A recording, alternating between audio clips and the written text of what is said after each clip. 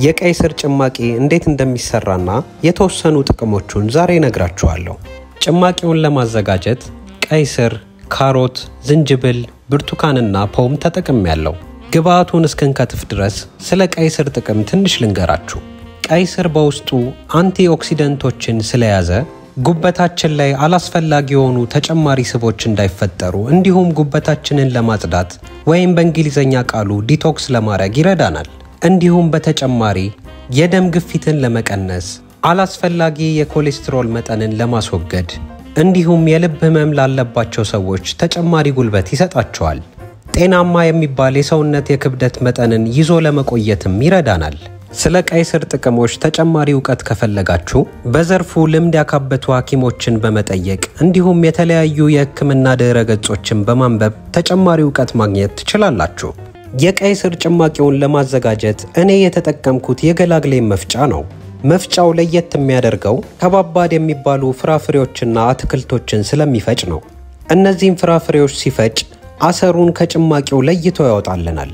ላዩ ላይ የተገጠመው ማጣሪያ የፍራፍሬውን አሰር ለብቻው ያስቀርና ጭማቂውን ብቻ ነጥሎ ያወጣልናል። ቡና መፍጨት ላሰባችሁ ደግሞ ቆንጆ የሆነ ቡና መፍጫ አብሮት ይገኛል። መፍጫው ለይቶ ያወጣውን አሰር መጨረሻ ላይ ትመለከቱታላችሁ። አሁን የከተፍናቸውን ግብአቶች የመፍጫው ወንፊት ውስጥ እንጨምራለን። ከወንፊቱ ውጪ ፈጽሞ መጨመር የለባችሁም። መፍጫው ሶስት አይነት የመፍጫ አማራጮች አሉት።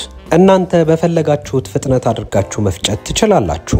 ምስሉ ላይ እንደምትመለከቱት መፍጫው አሰሩን ወደ ውስጥ አስቀርቶ ጭማቂውን ብቻ ወደ ውጭ እያወጣው ይገኛል። የምታዘጋጁት ጭማቂ ቀጠን እንዲል ከፈለጋችሁ እዚህ ጋር ውሃ መጨመር ትችላላችሁ። ስለ ጭማቂ መፍጫው ተጨማሪ መረጃ ከፈለጋችሁ የገላግሌዎችን ትክክለኛ ገጽና መገኛቸውን እዚሁ ርዕስ መጻፊያው ላይ አስቀምጬላችኋለሁ። ሌላ ማወቅ የምትፈልጉት ለጤና ተስማሚ የሆኑ ጭማቂዎች ካሉ አስተያየት መጻፊያው ላይ ጻፉልኝ። የቀይ ስር ጭማቂው እንግዲህ ይህንን ይመስላል። እኔ ትንሽ ጉንፋን እየጀመረኝ ስለሆነ በረዶ አልጨመርኩበትም። ነገር ግን እናንተ የበለጠ ቆንጆ ጣዕም እንዲኖረው በረዶ መጨመር ወይ አቀዝቅዛችሁ መጠጣት ትችላላችሁ። ምስሉ ላይ እንደምትመለከቱት የጭማቂ መፍጫው አሰሩን ለብቻ ለይቶ አስቀርቶልናል። የዛሬውን የመለኛ ቪዲዮ ስለተከታተላችሁ እናመሰግናለን።